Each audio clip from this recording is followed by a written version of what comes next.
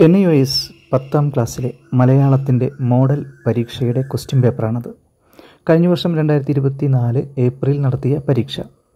ഇവിടെ ആദ്യം ഇരുപത് മാർക്കിന്റെ ചോദ്യങ്ങളാണ്. ഒരു മാർക്കിന്റെ ഇരുപത് ക്വസ്റ്റ്യൻസ് വൺ വേർഡാണ്. ഇരുപത് ഉത്തരം കണ്ടുപിടിക്കാനായിട്ട് ആകെ മുപ്പത് ചോദ്യങ്ങൾ അവർ തന്നിട്ടുണ്ടാകും. അതുകൊണ്ട് മുപ്പത് ചോദ്യങ്ങളിൽ നിന്നും ഇരുപതെണ്ണത്തിന്റെ ഉത്തരമാണ് നിങ്ങൾ എഴുതേണ്ടത്. ഒരു മാർക്ക് വീതം. ബ്രാക്കറ്റിൽ നിന്നും ശരിയായ ഉത്തരമാണ് എഴുതേണ്ടത്.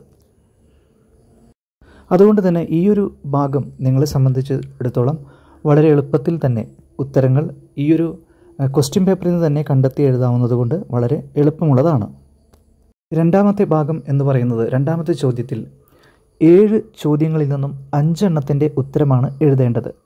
ഒരെണ്ണത്തിന് ഓരോ മാർക്ക് വീതമാണ് ഉണ്ടാവുക. വൺ വേഡ് ചോദ്യം ആണെന്നർത്ഥം അതും നിങ്ങൾക്ക് ഈ ഏഴെണ്ണത്തിൽ നിന്ന് അഞ്ചെണ്ണം സെലക്ട് ചെയ്യാവുന്നതാണ്. മൂന്നാമത്തെ ചോദ്യം വിട്ടുപോയത് പൂരിപ്പിക്കാനുള്ളതാണ്. എട്ട് ചോദ്യങ്ങൾ തന്നിട്ട് അതിൽ അഞ്ചെണ്ണത്തിന്റെ ഉത്തരം എഴുതാൻ എഴുതേണ്ടതാണ്. അതിനുശേഷം നാലാമത്തെ ചോദ്യം എന്ന് പറയുന്നത് ശരിയോ തെറ്റോ എന്നുള്ള കണ്ടുപിടിക്കുക. അതിൽ ഏഴെണ്ണത്തിൽ അഞ്ച് ചോദ്യങ്ങൾക്കാണ് ഉത്തരം എഴുതേണ്ടത്. ശരിയോ തെറ്റോ എന്ന് കണ്ടുപിടിക്കാൻ വേണ്ടിയിട്ടുള്ളത്. അഞ്ചാമത്തെ ചോദ്യം ചേരുംപടി ചേർക്കാനുള്ളതാണ്. എട്ട് എണ്ണത്തിൽ അഞ്ചെണ്ണം കറക്റ്റായിട്ടുള്ള അഞ്ചെണ്ണം ചേരുംപടി ചേർത്താൽ മതി.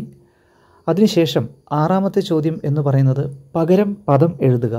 ഇവിടെയും ഏഴെണ്ണത്തിന് അഞ്ചെണ്ണത്തിന്റെ ഉത്തരം കറക്റ്റാക്കിയിട്ട് എഴുതാനായിട്ട് ശ്രമിക്കുക.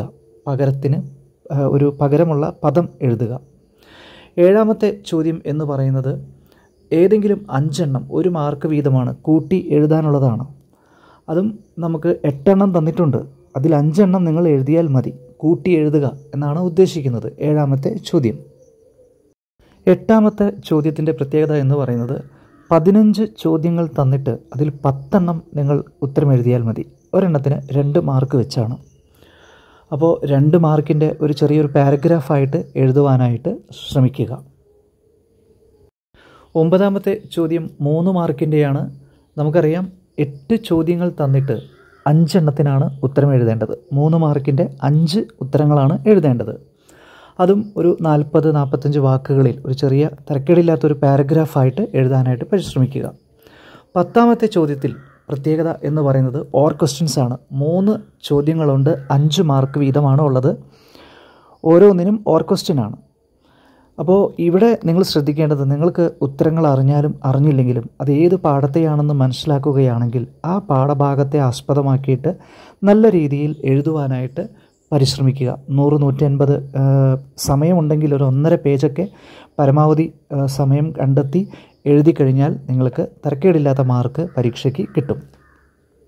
ഈ ക്വസ്റ്റ്യൻ പേപ്പർ നിങ്ങളൊന്ന് നോക്കി പരിചയപ്പെടുക. സാധിക്കുമെങ്കിൽ ഒരു മാതൃകാ പരീക്ഷ പോലെ ഒന്ന് എഴുതി നോക്കുക. Okay thank